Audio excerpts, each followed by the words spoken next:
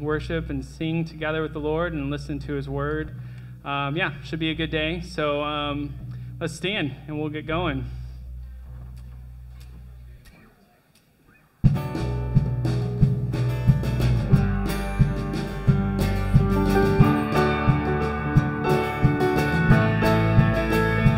Father,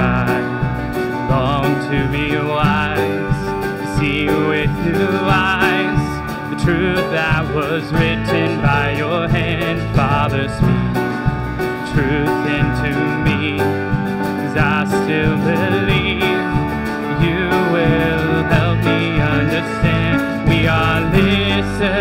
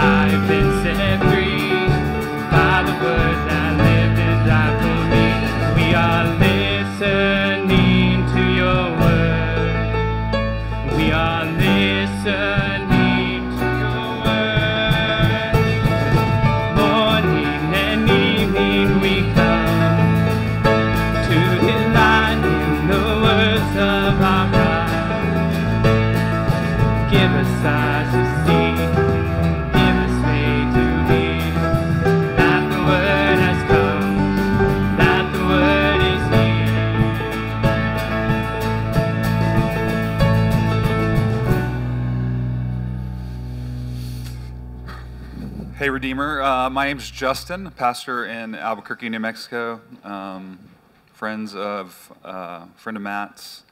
Today's a special day. Uh, we have a baptism that we're going to be able to do, and that's why I'm here. And so, um, as we come into the the worship service this morning, um, it's important to remember that God is the one that calls each of us here.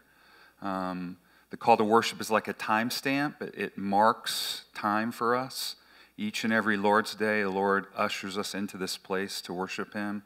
Uh, we join with people from history in doing that. Now, this week uh, in, the, in, in our world, in the Presbyterian world, we uh, lost some dear pastors to us, and Harry Reeder and Tim Keller. And, you know, Tim is uh, dear to many of us, to Matt and I. And so the call to worship this, this morning is talking about being grateful for all the different ways that God moves and works in our lives. And so uh, Tim was dear uh, to us and dear to me. I was a college pastor um, struggling under the weight of failure, and I went for a run.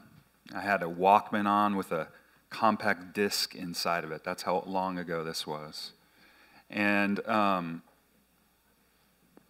Tim was preaching from Colossians chapter 3.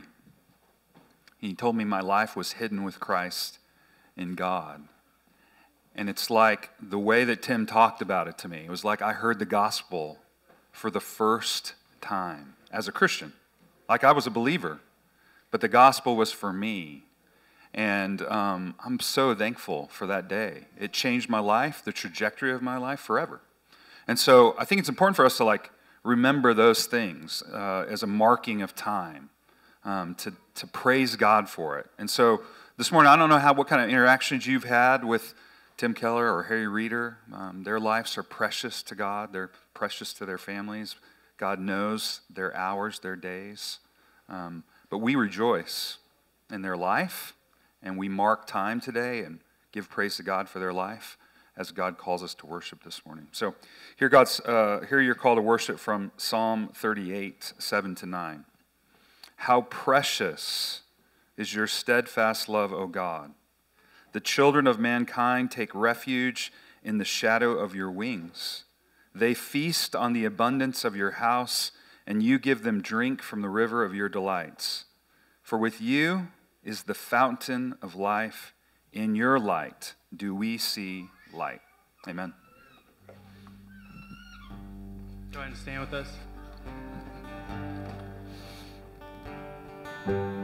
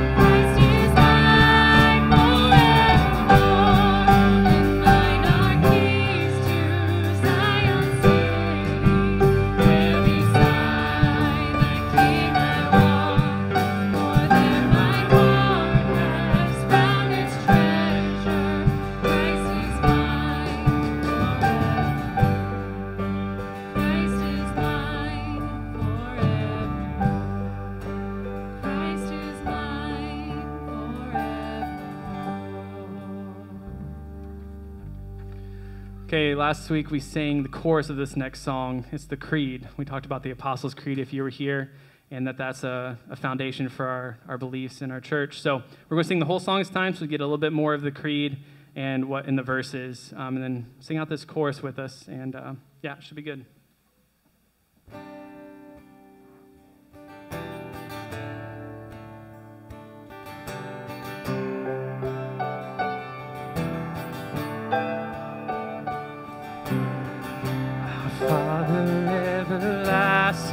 the all creating one, God Almighty.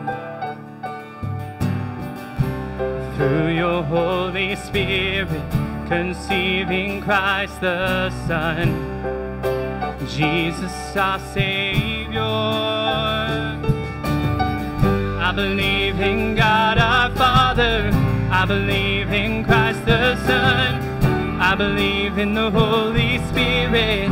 Our God is three in one. I believe in the resurrection, that we will rise again. For I believe.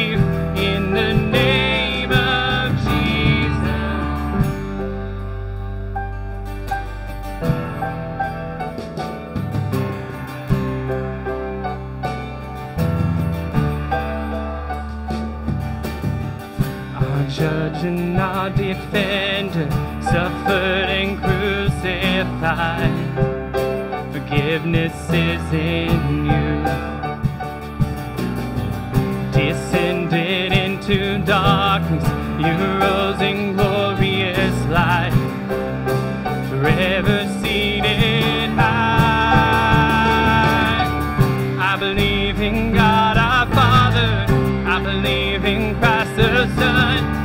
I believe in the Holy Spirit.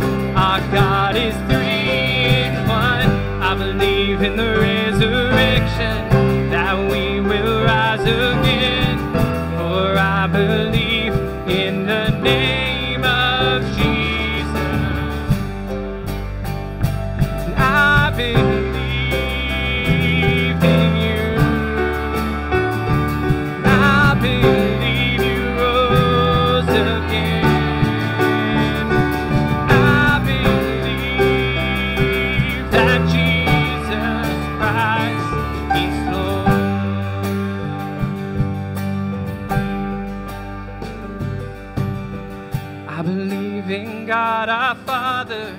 I believe in Christ the Son. I believe in the Holy Spirit. Our God is three in one. I believe in the resurrection that we will rise again. For I believe in the name of I believe in life eternal. I believe in life eternal.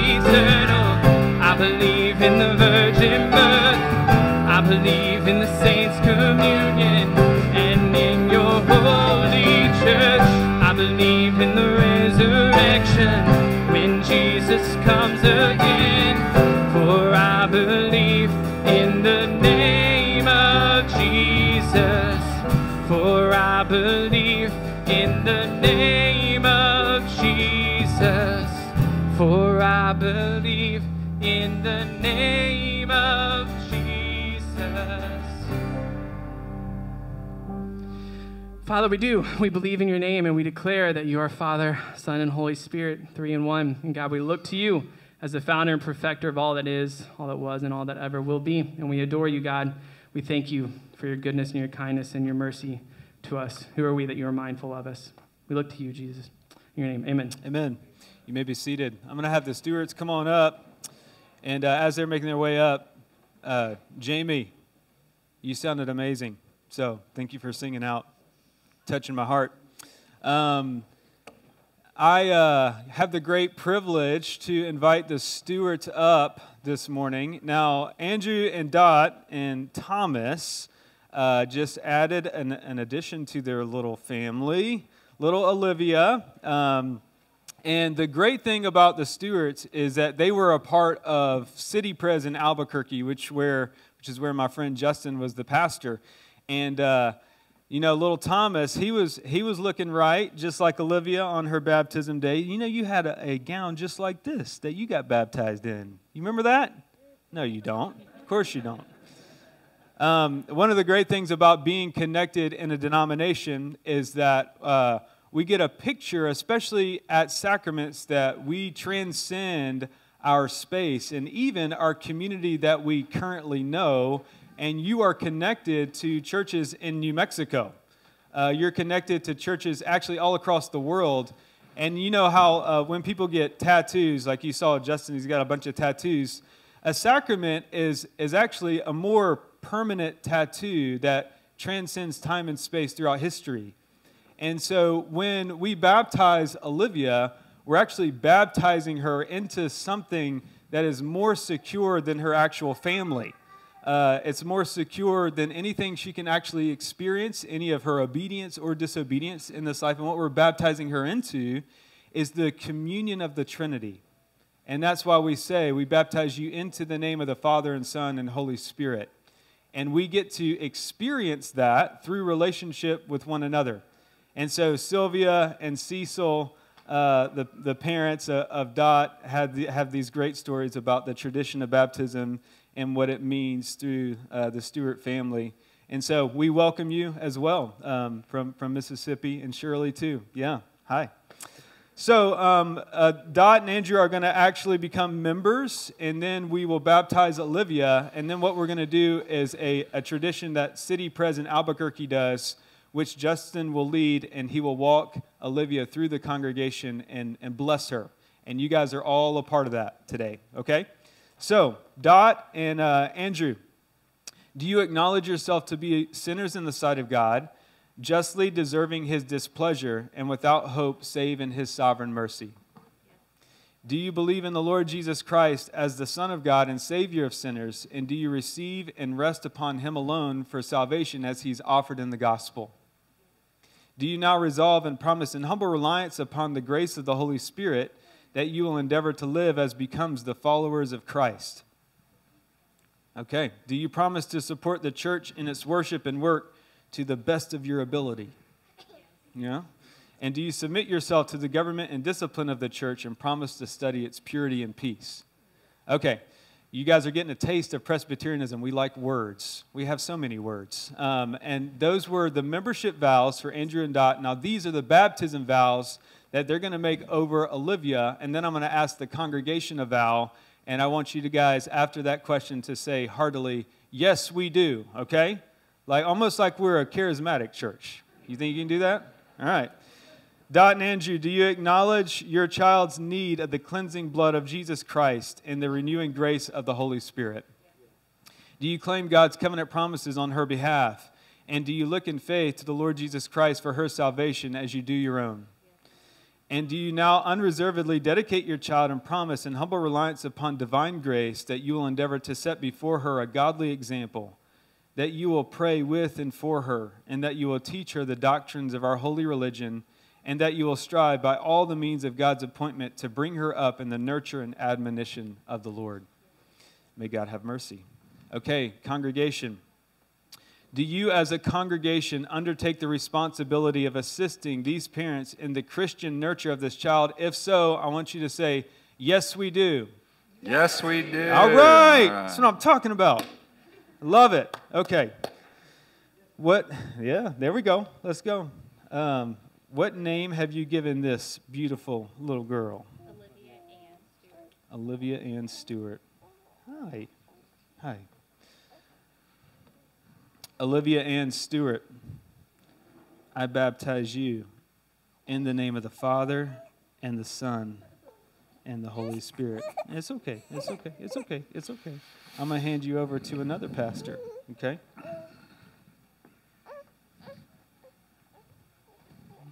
Redeemer, this is Olivia Ann. You made very special promises to her today.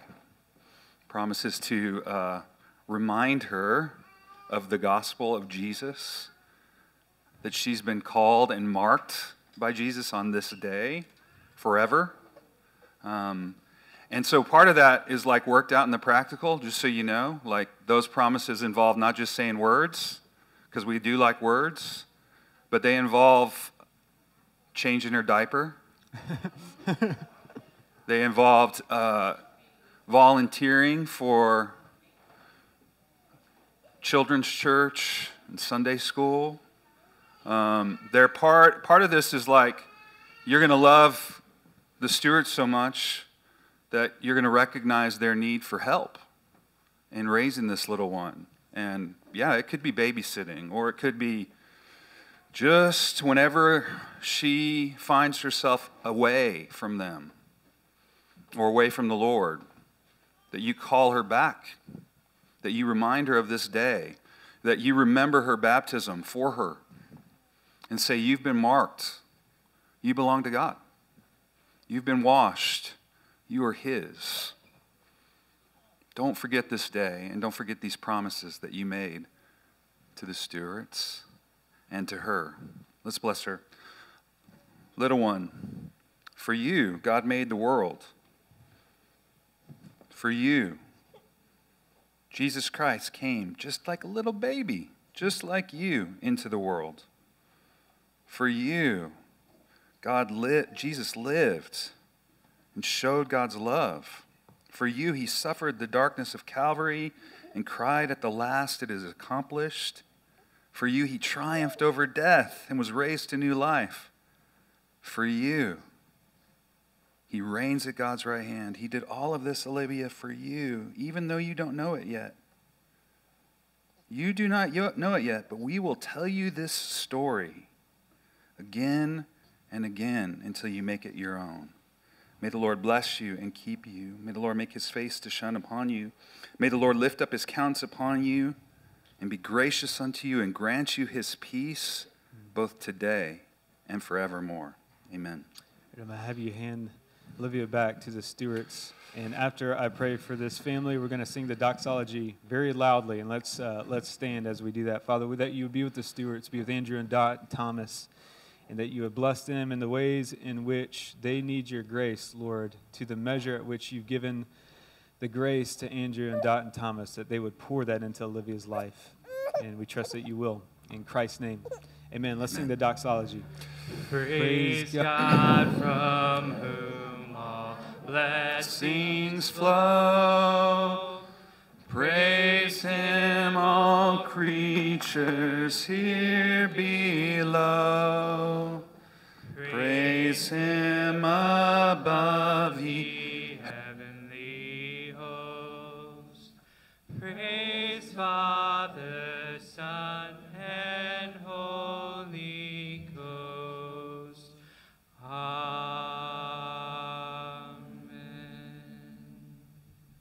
All right, it's our practice here, Redeemer, to greet one another. So say hello to someone around you, and then we'll come back with announcements in a minute.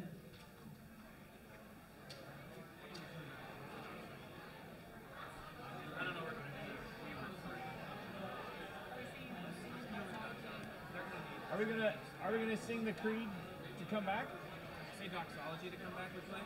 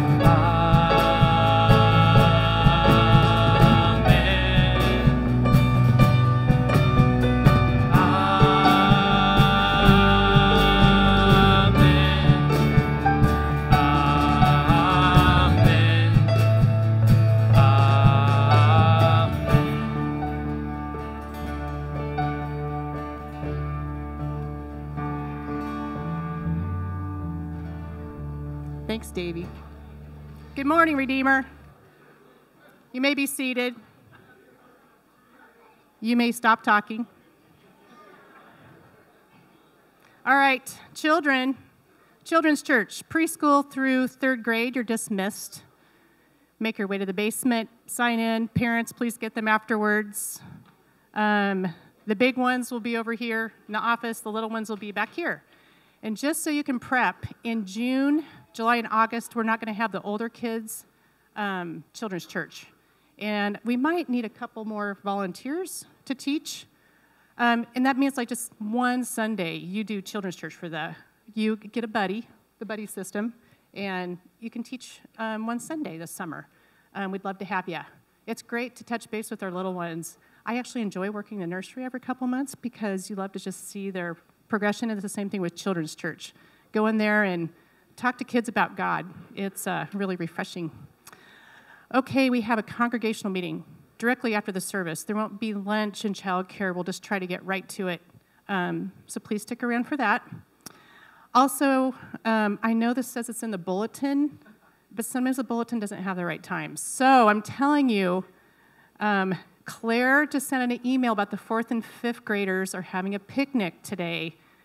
It's not at 2:30. It's not at 1:30. It's at 1 o'clock, and it's for two hours.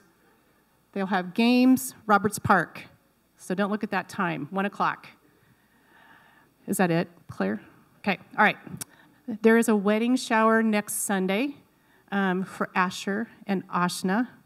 Everybody's invited, male and female. So we invite everyone to come party at the Odum's home and celebrate marriage next week at 3.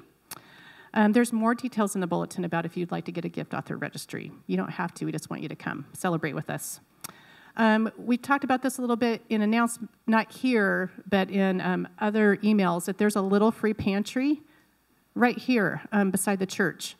And um, UNL's Rotary Club put that up for us, asked if they could do it because um, they've done some research and have felt that there's several students living in this area that don't always have enough food. So if you have food that you would like to bring, non perishables for that, and that's full when you bring it, just put it in the kitchen. We'll put it out when it's empty. Um, I think people have been using it already. They are going to fill it once a month for us, but there'll be plenty of opportunities for us. And if you happen to be someone who's having a slim margin for that month, please go help yourself. This is for everybody. You know, sometimes we give and sometimes we receive, so please just use that um, resource. And now it's time for the offering. So let's pray as we get ready for that. Heavenly Father, you own the cattle on a thousand hills, and you do not need our money, but you've chosen to put your love on us. So please help us take steps of faith towards you and give you what is already yours with a joyful heart. Bless our giving and use it for your glory and for the mighty work of your kingdom. Amen.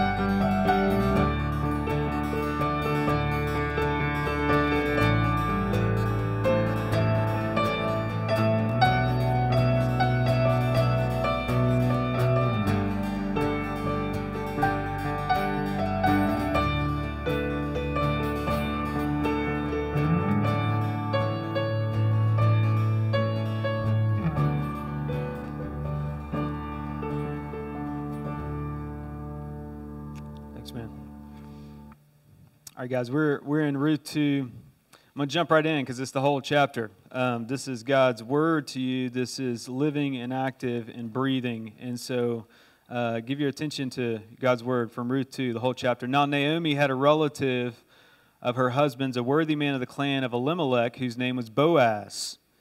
And Ruth the Moabite said to Naomi, Let me go to the field and glean among the ears of grain after him, in whose sight I shall find favor.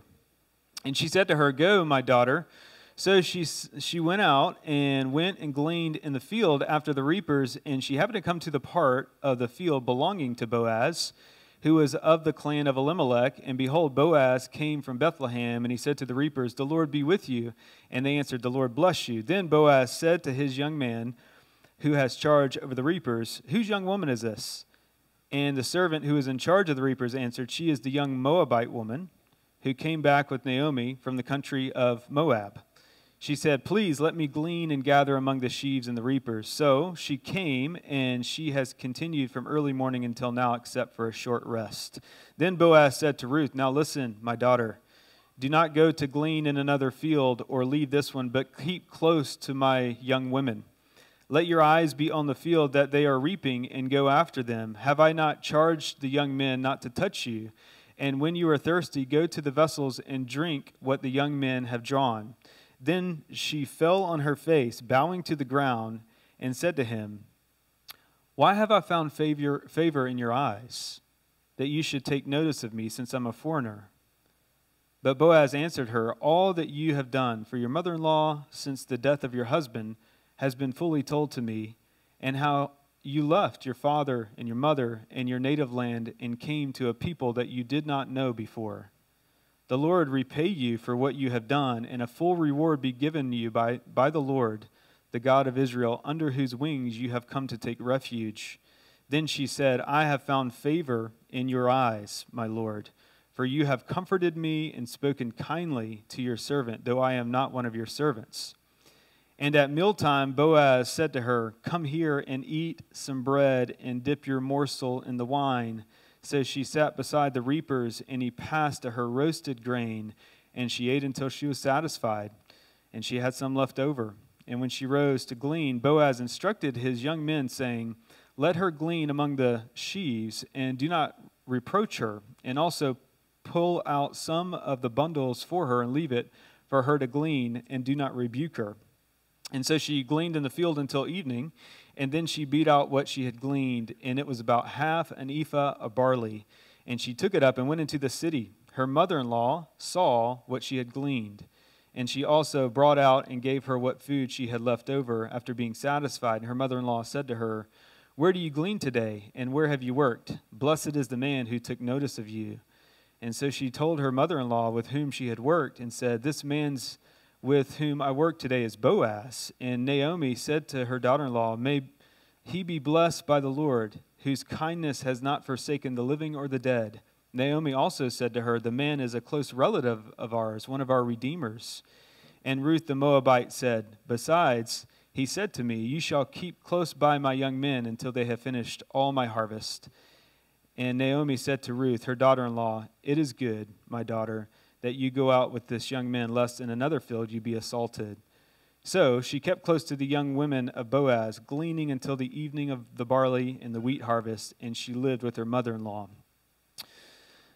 That's God's word to you this morning. It's our practice here to spend some moments in silence. And what we're doing in that moment and in this space together is that we're asking for God to reveal himself to us in ways that are new and fresh. That's exactly what happened with Naomi you know, she was uh, of the people of God and she was bitter. And she came into a deeper awareness of who God was, the gospel, um, even as a person of God. And so, uh, regardless, if you feel like you are unfamiliar with this church thing, or if you feel like you are very familiar with it, we all need the same thing. We all need God's steadfast love to be poured into our hearts like it was on little Olivia. And so let's, let's ask for that as we uh, look at this text.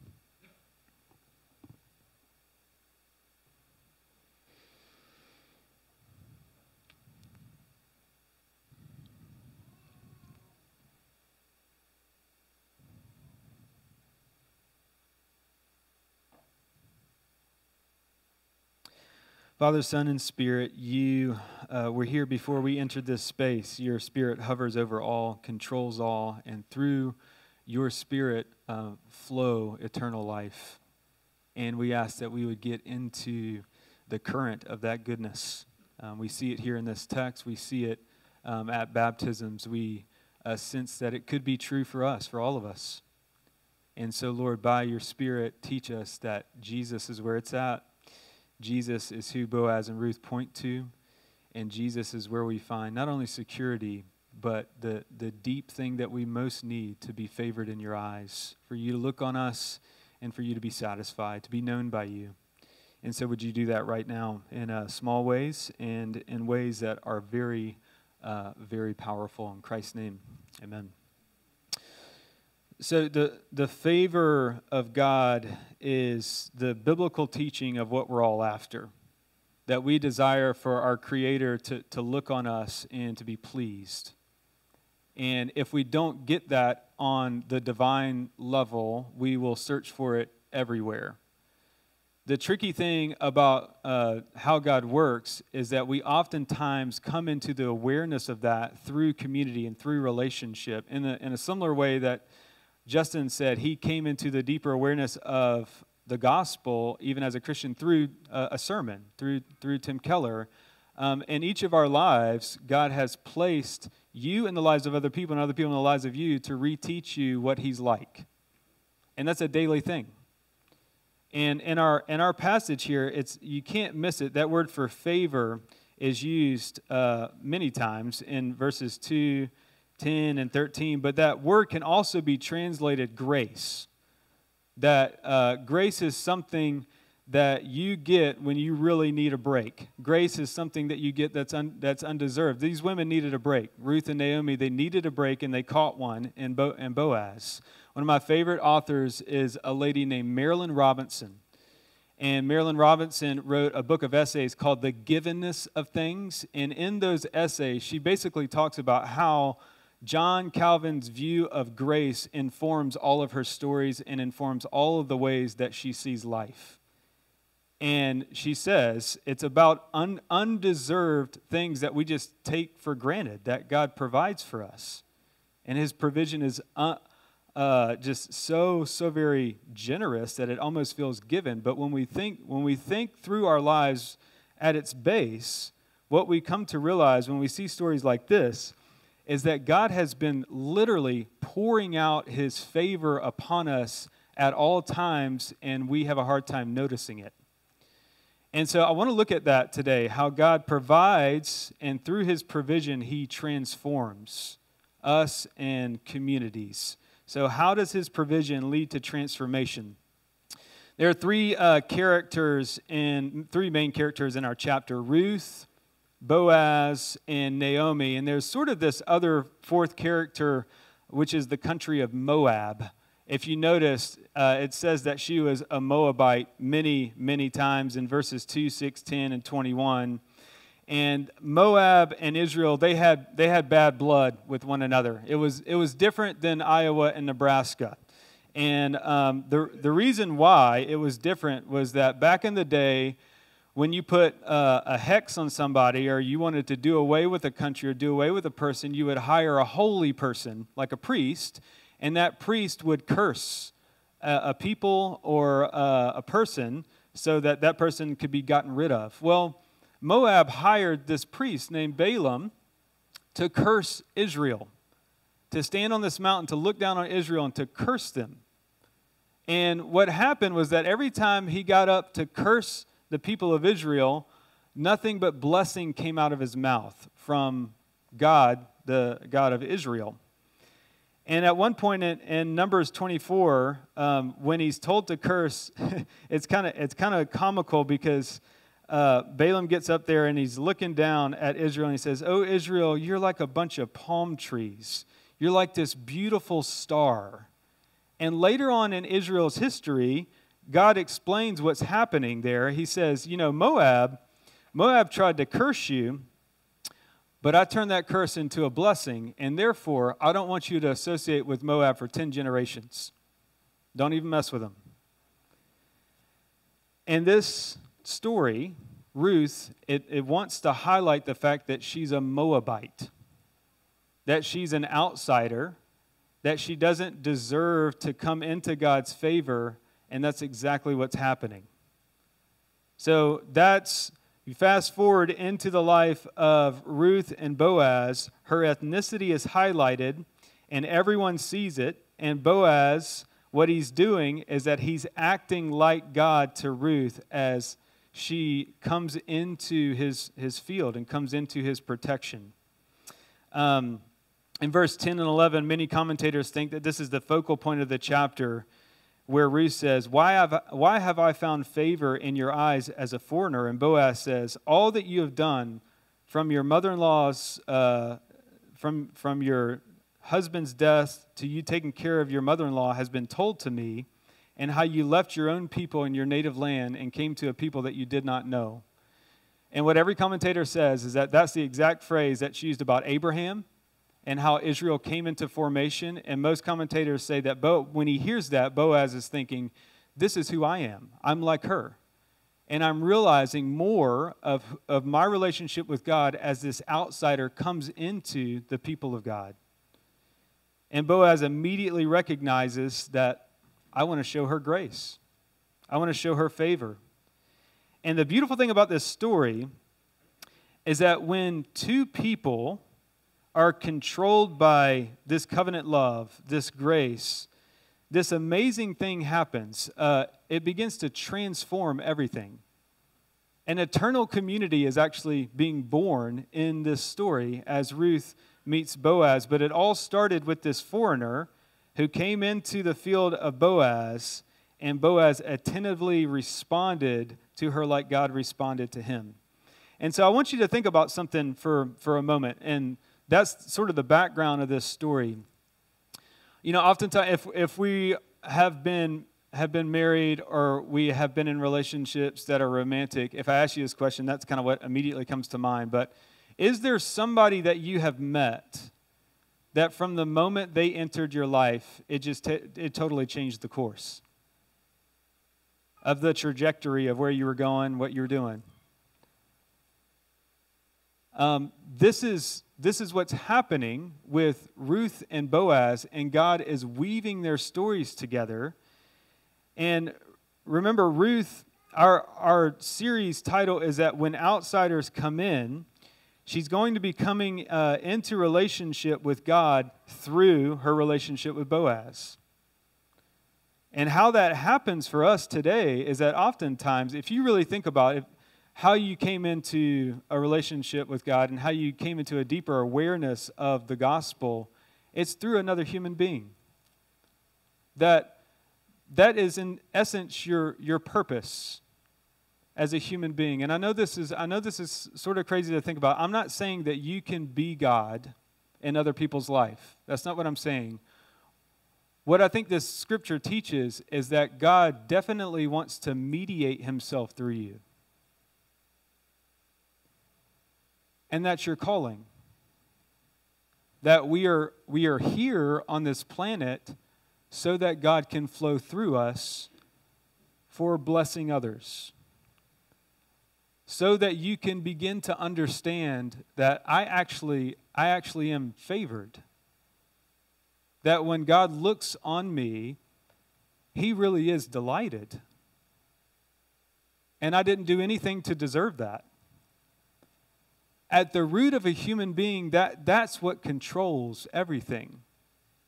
That's what is the center of everything. That's what, that's what needs to be remedied and redeemed in order for us to be those who give eternal life to those whom we're around. This is what's happening in this story. Everything changed on a dime when Boaz got into Ruth's life and it does not stop there, it morphs into Naomi's life. And here's how I want you to think about uh, yourself. You know, we, we've uh, oftentimes in our denomination, we use the phrase means of grace. And a, mean, a means of grace is an avenue through which God makes him, himself known to you, specifically his love and his grace.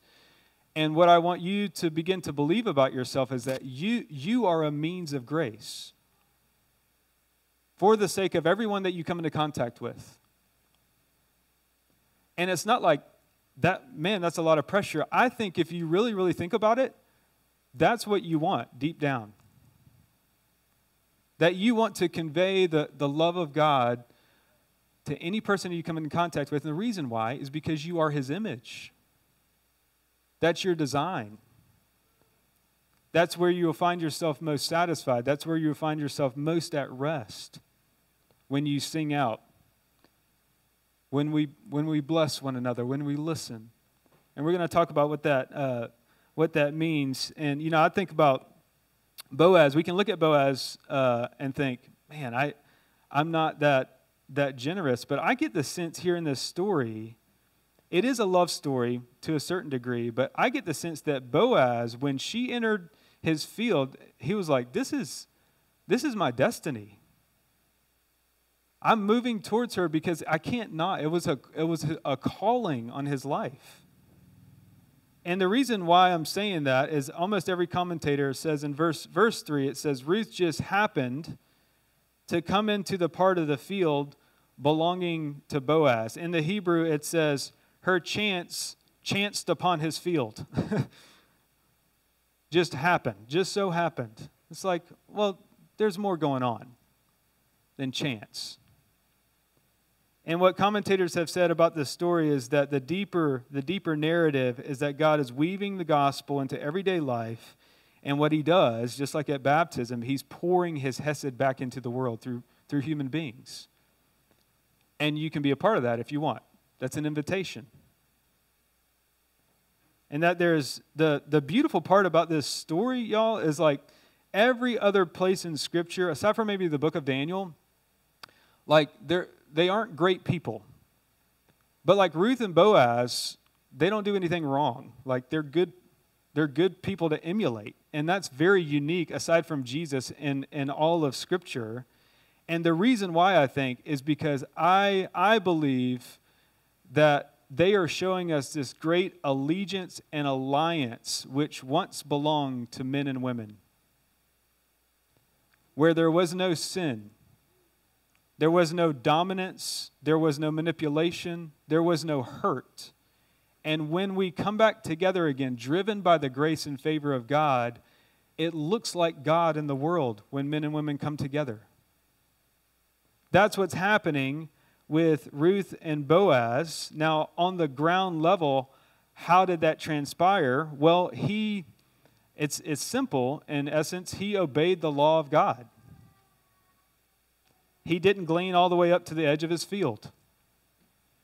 Leviticus 23 22 says, When you reap a harvest of your land, you shall not reap your field right up to its edge, nor shall you gather the gleanings after you, your harvest, but you shall leave some for the poor and for the sojourner. And in Deuteronomy 10:19 it says that the reason you are supposed to love the sojourner is because you too were once a sojourner when you came out of Egypt. Remember where you came from and that everything is grace. Now, I want to get uh, very practical right now, and I want to do something that uh, requires your imagination, okay? I want you to imagine your life as a, as a field. And there are certain people in your field right now. And I want you, I, this may be a little weird. Uh, I want you, I want you to know, I want you to notice them for a moment.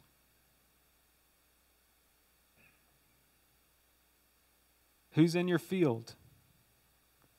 Now, this is not a question to induce guilt, but I want you to think of it in terms of a calling that maybe the, the Spirit of God, and if you don't believe in God, something's driving you to a particular area and to a particular person, ask this question. What are you being called to notice and to give away? A deeper question. What if God is calling you to mediate him, Himself through you to that person?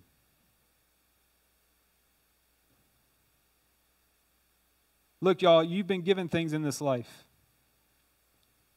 Some of its some of its resources, like what Boaz had, or it could it very well could be your attention, your space, your time, your social life. Uh, Are, there areas in your life where you are gleaning all the way up to the edge of your field and you know that you don't have to? And God is inviting us to think differently about how He provides. I was taking a walk this week with somebody in my family who needed to take a walk. And it made me feel like I was behind on work. Actually, feel like I was behind on writing this sermon. And uh, after the walk, I was walking by my neighbor's house, my neighbor Vaughn, and uh, he said, "How are you doing?" And I was like, "You know, man, I'm a little anxious because I I felt like I needed to spend the morning writing my sermon, and so I, I'm, now I'm behind." And he's like, "You know, Matt, you're not going to get to the end of your life. This is, you know, this is when an outsider teaches an insider the gospel." He said. Uh, you're not going to get to the end of your life on your deathbed and think, man, I wish I had write, written a better sermon um, you're going to be thankful you took that walk. And I don't have to get to the end of my life. He's right. I was trying to glean all the way up to the edge of my field when I didn't have to. And what drives that hamster wheel in all of us that we got we got to get to it. We got we got to make sure, you know, we perform is the fact that we don't we don't actually in our hearts when we're when we're driven that way, we don't actually think we have the favor of God. I think I got to earn it, that I got to get to it. It's a, it's a failure to believe that God's pleased and that you can rest. And so don't glean all the way up to the edge of the field. it's okay. God's going to take care of you. Through his provision, you get transformed. Um, Tim, you know, Tim Keller, I went, was skiing with his son once, Michael. And Michael told me, he's like, you know, my dad lives by the 90 10 rule. And he gives, uh, so he sells all these books and he gives 90% of his money away. And uh, he's like, and I, to be honest, I'm not happy about it because he's given away my inheritance. And I live in New York and it's, it's expensive. and what he was doing, he, you know, Tim Keller was not gleaning all the way up to the edge of his field, even for the sake of providing for his family. Y'all, this, I mean, even non Christians know this. Um, and it's beautiful when you see this is the, the ripple effect of the gospel in community and into the world when we are actually, as a, a whole community, not gleaning up to the edge of our field. We see that it's good for society, and anybody can see it.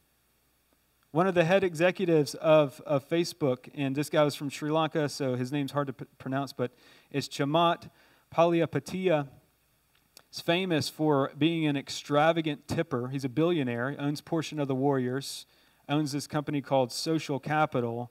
But he always, when he goes to a restaurant, he tips at least twice the amount of the bill and sometimes three or four times. And he said, as he was explaining, this is why I do it. He's like, it does make me happy, but the reason, the main reason why I do it is to see the transformational power of overabundant generosity.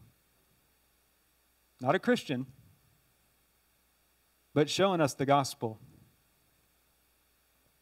And many of you here in this room, this is what this is what you do when you take in a foster child and an adopted child. So many of you have felt called to that and it's such a great picture of what the Lord has done in your own heart. And you know it. I've heard you say it that this the way in which we're blessing this child is actually more it's more blessing us because I'm reminded that I too am adopted into the family of God. That this, this is all of our plights. Again, this is the gospel's ripple effect when we exude grace and favor to one another, which is what Boaz does with Ruth. And Ruth is showing us the transforming power of, of God and how she humbles herself. But this is what often happens when, when an outsider comes into the community of God what happens is that the insiders, it's almost like we get converted again. And that's exactly what happens in our text that God's favor of Ruth actually begins to transform Naomi. Starting in verse 17, Ruth comes back with a load of barley and it's 22 liters, which for us Americans, that's about 50 pounds. It's the same amount that David took to his brothers when they were in a battle. The point is, it's a lot of barley, like more than you need. And uh, when Naomi sees this, she says in verse 20, Blessed is the man who took notice of you. And Ruth said, Well, it was a guy named Boaz. And Naomi begins to see it at that point, and this totally changes the trajectory of her life. Boaz is of the clan of her late husband Elimelech, and from here on in the story, this is what's happening in Naomi's life. She begins to get filled back up. Remember, she went away empty. She came back to Bethlehem empty. and she's beginning to be filled back up through Ruth's favor from Boaz. And y'all, that's that's the purpose of how we ought to view our life. That when we when circumstances are the bleakest, um, we ought to always remember this has always been God's plan A for us. That He's driving us to a place of, of emptiness in a certain degree because He wants to fill us back up so that we remember it's all grace, it's all God's favor. And we're called to be attentive to the way that God works behind the scenes. There's a um, children's catechism question that says, Can you see God? Can you see God? And the answer is no, but He always sees me. And that's what's happening in our story. And the moments when we need to trust that are when circumstances are the bleakest. So, look, right now, I, I want you to think about uh, the abundance that you possess. You don't have to be a Christian to think about this. You don't have to have an amazing amount of resources. You're here in this room that we have this moment. Let's think, okay? We want to encounter God. God has given you extra in some, in some arena. And most likely, it is a particular way in which you have suffered. You have an overabundance of something.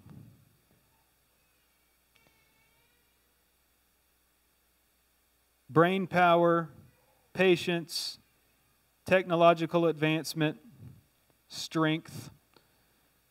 You know your muscles, high schoolers. I work out at the Coppell YMCA, and I'm always watching these high schoolers, like, you know, flex in the mirror. Like, your muscles are actually meant for the benefit of the world, not just to look at in a mirror, you know? Um, that's how a Christian thinks. You know that this is good for the world. What do you possess in abundance for the sake of others? When you, when you give that away, you guys, you come into the awareness that God favors you when you don't glean all the way up to the field. And often, when hardships come into your life, we are more like Naomi. We, we struggle with bitterness and we can't see our way out. But when, when we see that God so clearly provides at the very last minute, when we didn't have a chance, then we actually have an opportunity for ourselves, we ourselves to be transformed by the gospel, to actually change so that we can face the next hardship in a different way. This is what happened to Naomi through Ruth and Boaz, but it was really God all along saying to Naomi, "Hey, let's let's start fresh. Let's start over." How do you think I see you?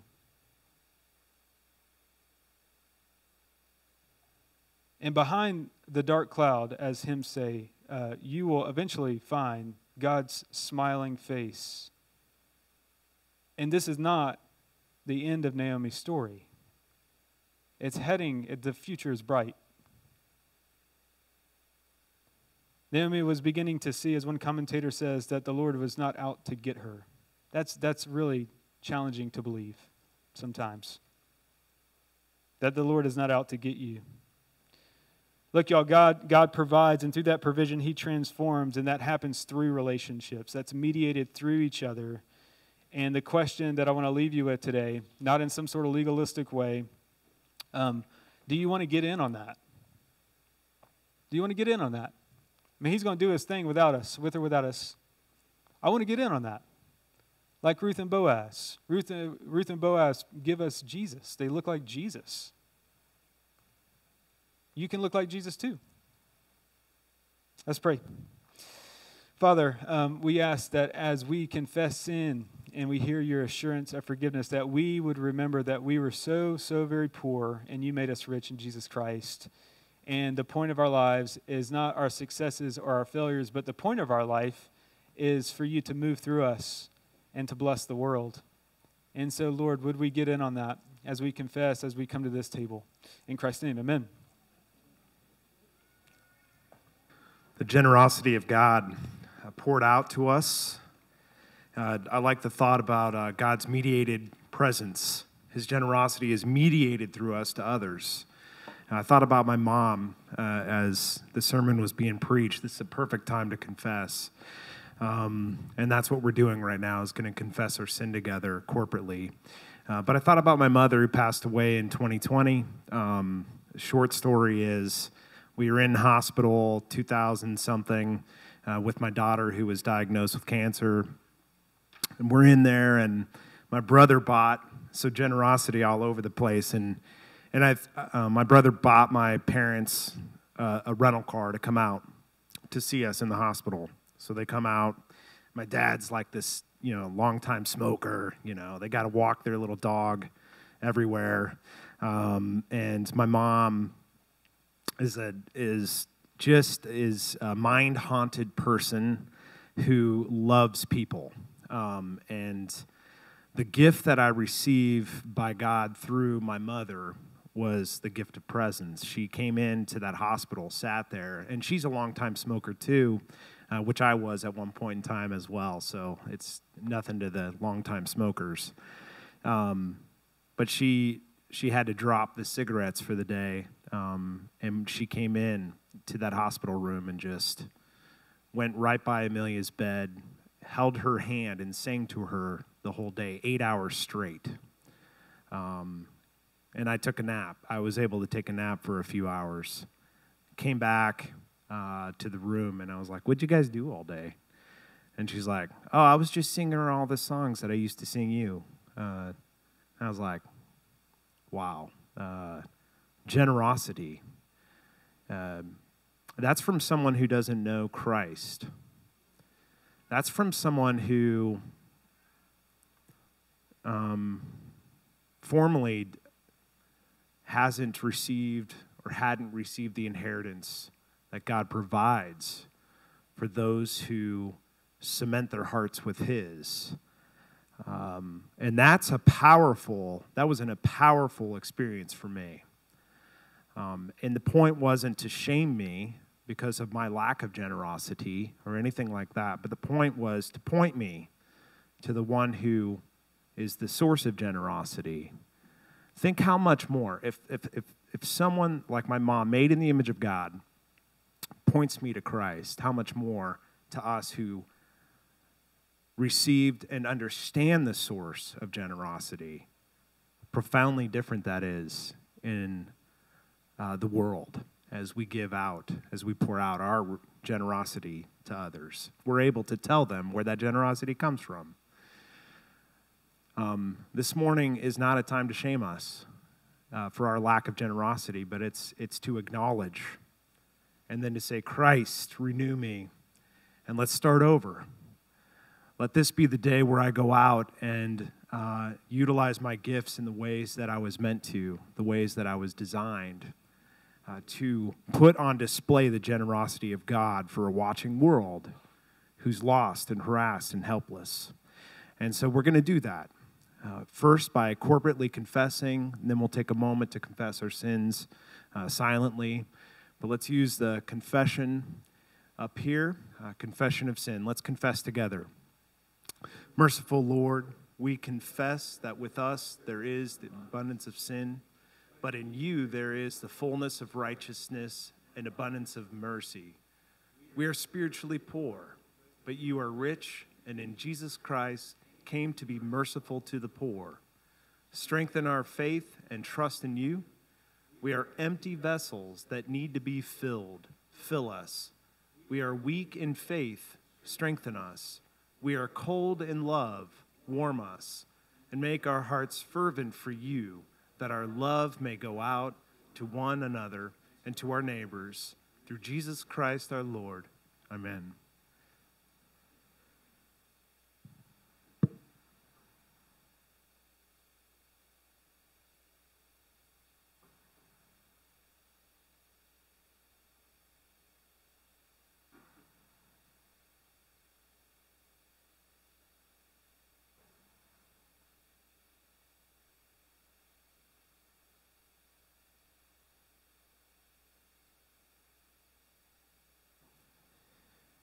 Father God, you invite us to beseech you to fill us. So we do. We ask you to fill us. Uh, for those of us who would say on the surface that we've never experienced your generosity, fill us. Uh, prove us wrong with your generosity. And we know it's true generosity when it's, when it's fruitful for others, when it's poured out, when it's the Psalm 1, planted by streams of living water. And so, would you do that in us? We pray, we confess that we have grabbed on to things, uh, false loves that have taken from us and put us in places that have cut us off from one another. Pray that you would bring us into the abundance that's provided for us in Christ. We pray these things in Christ's name. Amen. All right, friends, lift up your heads. Receive these words of assurance of forgiveness taken from 2 Corinthians 8 9. For you know the grace of our Lord Jesus Christ, that though he was rich, yet for your sake he became poor, so that you, by his poverty, might become rich. This is the word of God. Amen. a part in the story where Boaz tells Ruth, like, hey, why don't you come sit at my table and um, dip your bread in the wine? Um, and I, I love uh, when Ju- Justin, my friend, he, uh, he has a saying that there's always room for one more in his home. And uh, I think that's how the Lord Jesus would invite you to his table. Just like, come on, don't you want to come in? Don't you want to come around my table? Um, and so if, there, if there's something preventing you uh, and you really want to be here at Jesus' table, if there's something in your heart like sin or you feel like you messed up too much this week, um, Jesus says, don't let that stop you from getting to me. Come. If you, if you want me, come. Come sit and come feast on the river of his delights. And so, if that's where you are, please come up to this table. Our practice here is to come down in two rows. Steve is going to be on this side, I'm going to be on this side. The outer ring is grape juice, the inner clear cups are, are wine. Uh, I'm going to pray, set the elements apart, and then after the musicians come, you, you are invited. Let's pray. Father, we thank you for the abundance of your delights. Let us feast on you, Lord, by the Holy Spirit. These elements remain what they are, but just like you mediate yourself uh, through people, Lord. You commune with us spiritually at this sacrament. Um, and so we thank you. We thank you for inviting us to your table. We thank you for giving us so much richness, for so much abundant wine and bread, and so much fullness. And so, Lord, wherever we are, whether we're Naomi or whether we're an outsider, whether we're an insider like Boaz and Ruth, Lord, we come and we want to feast with you. And so, uh, commune with us now. In Christ's name, amen. On the night when Jesus was betrayed, he took bread and he broke it and said, This is my body, which is given for you. Do this in remembrance of me. In the same way, he took the cup after supper and he said, This cup is the new covenant of my blood, poured out for the forgiveness of sins. For whenever you eat this bread and you drink this cup, you proclaim the Lord's death until he comes. I invite you up.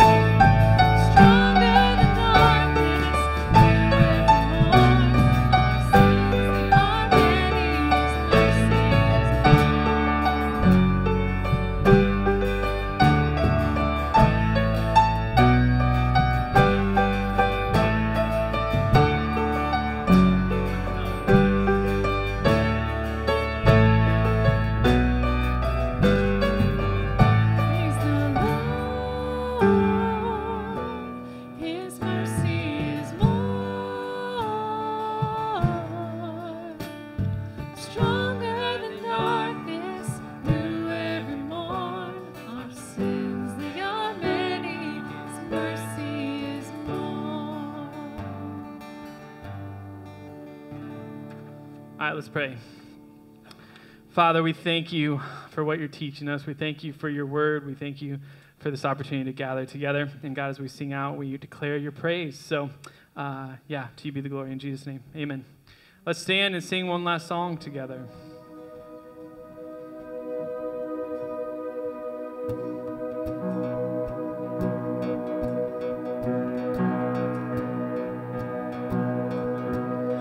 Was buried beneath my shame. Who could carry that kind of weight? It was my turn till I met you. And I was breathing